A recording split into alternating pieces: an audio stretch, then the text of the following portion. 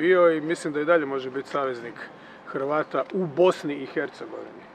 Onda i Hrvata u Hrvatskoj i hrvatske vlasti u legitimnoj i poštenoj borbi za temeljna politička prava Hrvata u Bosni i Hercegovini, ali u Bosni i Hercegovini. Ne izvan Bosne i Hercegovine, ne u državi u kojoj žive svi Srbi ili bilo koji drugi ili treći narod ili Hrvati, nego Bosni i Hercegovini. Bosni i Hercegovini bez Srba nema. Tako da su, pustimo to odlikovanje, ono je sporedno. Ono što je bitno je da ja ne vidim e, kao hrvatski politički imperativ borbu da svi Hrvati žive u jednoj državi jer je to nažalost nemoguće. Kažem nažalost, bilo bi super da svi žive samo u svojoj državi da se osjećaju najbolje, ali to nije moguće. Nije moguće bez velikih potresa.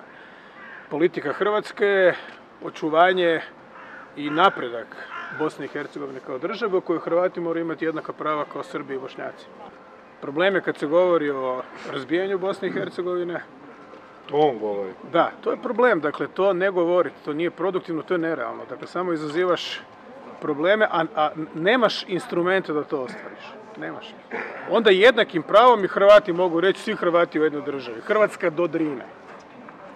Meni bi već navukli i drugu luđačku košulju, da to kažem. Dakle, to naprosto nije realno, dakle, o tome ne govorimo. Hrvati u Bosni i Hercegovini ostaju u Bosni i Hercegovini, ali to ne znači da su odrekli svojih prava. A on mora samo cijeniti šta mu je pametno govoriti, kako će ga vrednovati njegovi birači. To, ja, ja u to ne mogu ulaziti.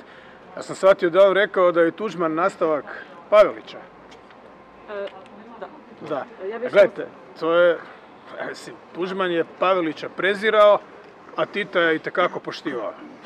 I za to ne treba puno, dakle to zna svatko. Svako ko je otvorio jednu knjigu, dvije knjige, čitao njegove intervjue, članke. Dakle, on je nasljednik Tita.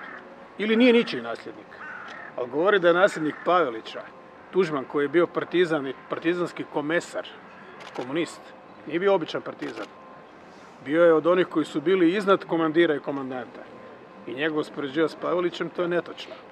I opet nije dobro za naše odnose. I to a, a, Dodik koji će stalno ističe da je on partizan, a ne četnik. On i Tuđman, dakle, štuju isti, isti izvor, iste korijene. Tuđman nema veze s Pavelićem.